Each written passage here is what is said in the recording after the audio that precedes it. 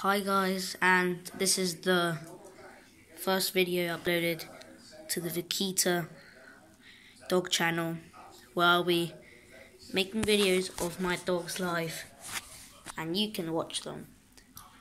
What do you think about that? Very good. I like that idea. Yes, you can eat my thumb, thank you. So guys, I'll be uploading daily videos of my dog. Ah.